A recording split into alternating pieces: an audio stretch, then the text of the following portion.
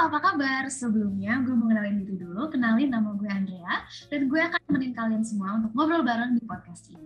Nah, di sini gue nggak sendirian nih, gue ditemenin teman-teman gue yang keren banget, yaitu Evelyn, Halida, dan Naomi. Gimana nih kabarnya kalian? Halo Andrea, baik.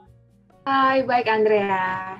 Baik, teman-teman di podcast ini kita bakal bahas sesuatu yang pastinya menarik dan penting banget nih untuk kita ketahui, yaitu tentang peran jaksa dalam memberantas kekerasan seksual.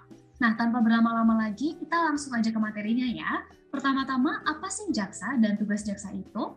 Mungkin Evelyn mau menyampaikan buat teman-teman itu. Boleh banget. Jadi, uh, peran dan fungsi jaksa itu diatur dalam berbagai landasan hukum.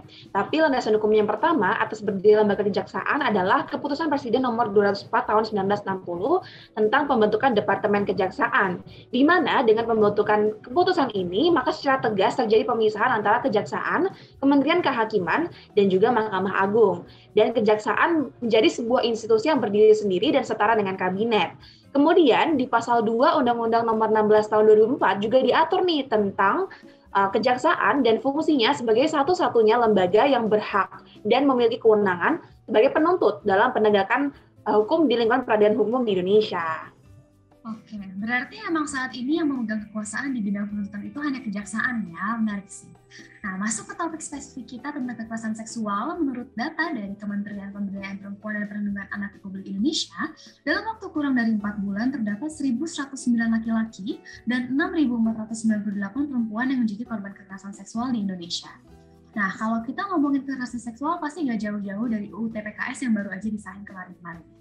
Jadi gue penasaran banget gimana ya peran jaksa dalam penegakan UU TPKS tersebut. Nah, miris banget ya. Ternyata kasus kekerasan seksual itu masih banyak banget di sekitar kita.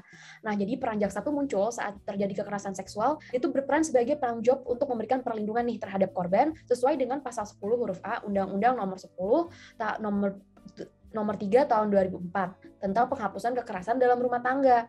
Nah, buat kalian yang penasaran pasti ada dong korban atau saksi yang selama memberikan keterangan merasa risih atau takut. Sebenarnya udah ada loh undang-undang yang mengatur yakni Undang-Undang Nomor 13 Tahun 2006 untuk memberikan perlindungan saksi dan korban supaya mereka tuh mendapat rasa aman selama memberikan keterangan. Nah, selain itu, ketika terjadi kekerasan seksual itu kan korban memang memiliki posisi yang amat rentan. Nah, oleh karena itu dibutuhkan penunjukan jaksa yang tepat untuk mendampingi korban kekerasan tersebut. Nah, hal ini sudah diatur di dalam Surat Edaran Jaksa Agung Republik Indonesia nomor SE 007 yang tentang tentang penanganan perkara tindak pidana kekerasan terhadap perempuan. Nah, diatur mengenai kriteria jaksa yang boleh menangani kasus kekerasan seksual. Nah, yaitu adalah pastinya adalah jaksa yang telah berpengalaman sebagai penuntut umum untuk menangani tindak tindak pidana yang dilakukan oleh orang dewasa, terus yaitu juga memiliki minat, perhatian, dedikasi, dan memahami kekerasan terhadap perempuan.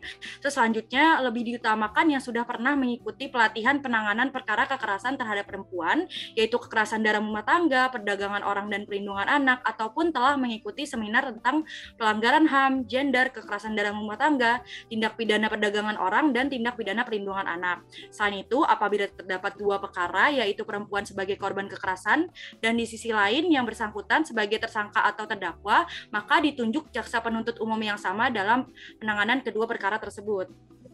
Nah, karena kasus kekerasan seksual ini benar-benar sangat gencarkan, yang terbaru ini Kejaksaan Republik Indonesia juga menerbitkan pedoman nomor 1 tahun 2021 tentang akses keadilan bagi perempuan dan anak dalam penanganan perkara pidana yang kayaknya cocok banget dijelasin sama Evelyn nih.